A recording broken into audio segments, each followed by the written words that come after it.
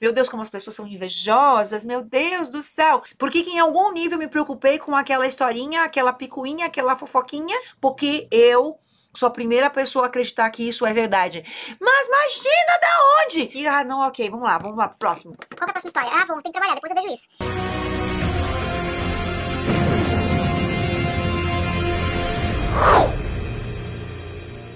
Processo da cura, de nos curarmos para poder ajudar os outros, ele trabalha com duas regras, né? Então vai ter sempre duas regras pra gente, pra gente conseguir trabalhar. Uma regra é a autoidentidade, que significa assumir a total responsabilidade por tudo que está na minha vida, que eu falo isso o tempo todo. Essa é a regra de técnica Hertz. 100% de responsabilidade sobre a tua vida. Então, o processo de autoidentidade, que significa assumir total responsabilidade, 100% de responsabilidade por aquilo que está na minha vida. Ah, eu tenho um problema aqui na minha vida, ok, daqui que é minha responsabilidade. Ah, tá bom, daqui que eu resolvo. Ah, tá na minha vida, né? Então daqui que eu vou resolver isso aí.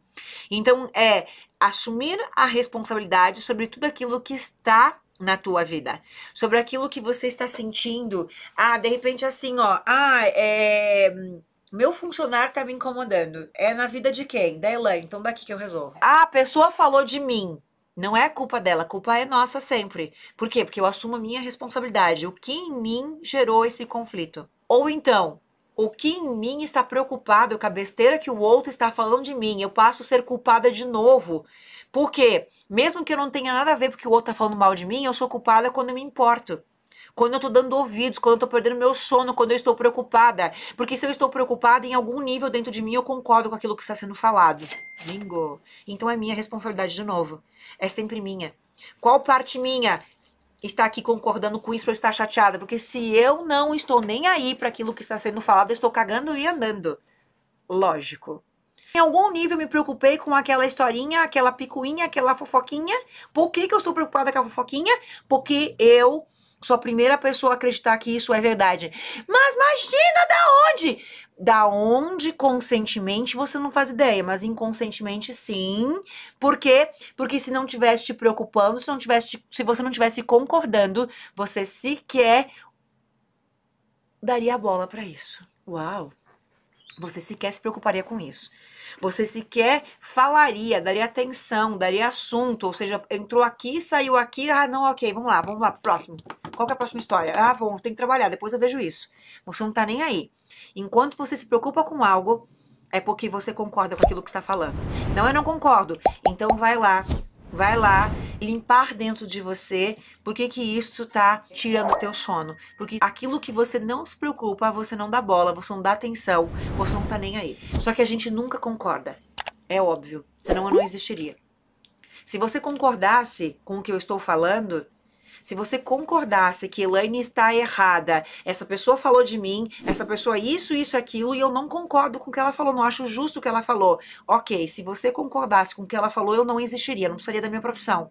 Eu não precisaria ter lido todos esses livros aqui, todos os certificados que eu tenho ali, a formação que eu acabei de fazer. Não precisaria, por quê? Porque o mundo é perfeito, as pessoas são perfeitas, por que, que eu existiria? Eu trabalharia com o quê? Se você sabe como consertar, como corrigir, como resolver aquilo. Por que, que você não sabe, não tem consciência do que eu estou falando? Porque aquilo que você sabe é 5% do que está acontecendo. 5. 95 é inconsciente. Você age, pensa, reclama, resmunga, mas você não sabe por quê. Porque é inconsciente. E essa é a grande sacada da vida. Aí você pensaria assim, ó, nossa, que chato, que vida chata, que absurdo. Seria tão legal se a gente soubesse tudo que tá no inconsciente. Nossa, seria tão ridícula a vida. Seria tão chata a vida. Qual seria o propósito da vida se a gente soubesse o que tá no inconsciente? Nossa, seria uma vida tão chata. Meu Deus do céu, eu duvido eu duvido que uma pessoa desperta não concorde comigo. Se você acha que eu estou errada, embora esse é apenas o meu ponto de vista, você não é desperto. Porque você. Qual seria o sentido da vida? Qual seria o sentido da vida se 95%, se o que está no controle da tua vida não fosse inconsciente?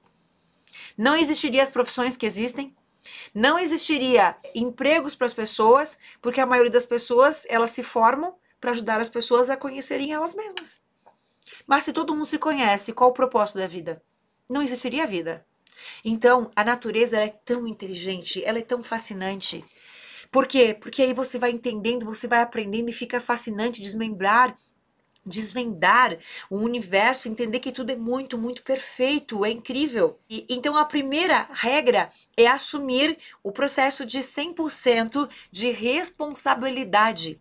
Assumir total responsabilidade pelo que você sente, pelo que você reclama, pelo que você resmunga, pelo aquilo que te abala, aquilo que te preocupa, se está na tua vida, é responsabilidade tua. Mas Elaine, lá no meu emprego, as pessoas falam mal de mim. Lá na minha casa, os meus pais, é só eu chegar que eles estão brigando comigo. Lá na escola dos meus filhos, as mães não gostam de mim. E na minha infância, eu sempre fui muito invejada, Elaine. As minhas amigas me invejavam. Meu Deus, como as pessoas são invejosas, meu Deus do céu. Aí me pergunta é: quem é o ator principal dessa palhaçada toda? Eu. Então, de quem que é a responsabilidade? Ah, oh, sou eu. Ah, e só para você entender também, a inveja não existe, tá? Se você enxerga inveja lá fora, o único invejoso é você. Bingo!